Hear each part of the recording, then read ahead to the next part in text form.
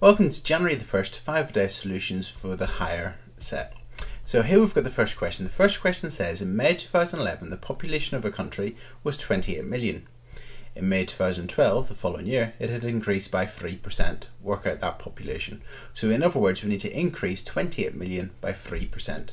So 28 million, add on our 1, 2, 3, 4, 5, 6 zeros. And we need to uh, increase it by 3%. I like to use a multiplier, which is 1.03. 3% increase. So whenever we do that, on our calculators, 1, 2, 3, 4, 5, 6 times by 1.03, we get an answer of 28,840,000. That's it, so that's the first question done. Next question says, explain what is meant by a stratified sample. So a stratified sample is when you take a sample and the sample's in the same proportions to the uh, to the population. So in other words, whenever it's representative of the population. So stratified sample is a sample that is in the same proportions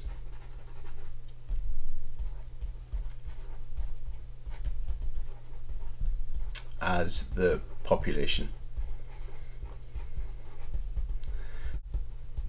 Okay, the next question then says, a stratified sample of 30 is selected. Um, how many other are selected? So we've got 94 teachers, 16 teaching assistants, 41 admin, and 29 other. So the formula is the number in category, which is 29, divided by the total. So let's add up the totals. So 94 plus 16 plus 41 plus 29. That gives us 180. And we just need to times that by the sample size, which is 30. And whenever we do it on our calculator, we get 29 over 180 times by 30. And whenever we do that, we get that is equal to 4.83 recurring. Now, you strictly speaking, whenever you want to get a stratified sample of 30, I should do the same thing for teachers, the same thing for teaching assistants, the same thing for admin. See what the numbers are and see if I need to round up, round down, and so on for each of them and make sure I get a sample size of 30. Now, I'm going to be very lazy here. I'm going to leave it like this and I'm going to say the answer. Well, I'm going to take five people. Okay.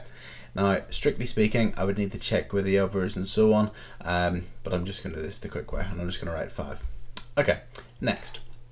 The next question says A is directly proportional to the square root of B. So it means that A, so A is proportional to the square root of B.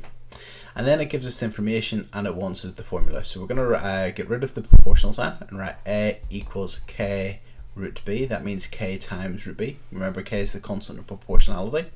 And then we're going to put in the numbers. So 50 is equal to k times the square root of b, which is the square root of 4. The square root of 4 is 2. So we get 50 equals k times 2.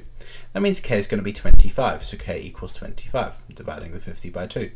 So that means the formula is a equals, now we put this 2, or we put this 25 for k, into here. So we get a equals 25 times the square root of b.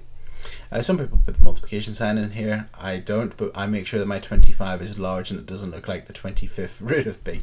Okay, right, next question.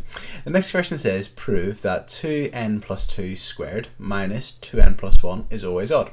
So what we're going to need to do is we're going to need to expand this uh, this squared. Okay, so we've got 2n plus 2, and squared means we're going to multiply it by itself and then we're going to take away 2n plus 1 and that's in brackets. So let's expand the brackets. Uh, 2n times 2n is 4n squared. 2n times 2 is plus 4n 2 times 2n is plus 4n and 2 times 2 is plus 4 and we're going to take away now let's expand this bracket. Now we've got uh, minus 2n so it's minus 2n we've got minus uh, plus 1 so remember that's a minus 1 times uh, 1 which is going to be minus 1 we're taking away everything that's inside the brackets. Just be careful there because it's a minus and a plus, we're going to be subtracting. If this was a minus inside of the brackets, it would go to plus 1 on the end. Okay, so let's simplify this. We've got our 4n squared here, plus 8n, and we've got plus 4, and we're going to take away 2n, and we're going to take away 1. So let's simplify this. So it's 4n squared. The 8n, uh, take away the 2n, well, that's going to be 6n and the 4 take away the 1, well, it's going to be plus 3. So 4n squared, well, remember our BODMAS, if we square something, and then times by 4, which isn't even, well, that would be even. Then, if we add, well, 6 times a number, well, 6 times any number is even. And then we're going to add on 3, well, 3 is most definitely odd. So we've got an even plus an even, which is an even. And then we're going to add an odd. Well, that's going to then give us an odd, because an, an odd add an even is an odd. So that means that our answer is odd, and we've proved it. So QED.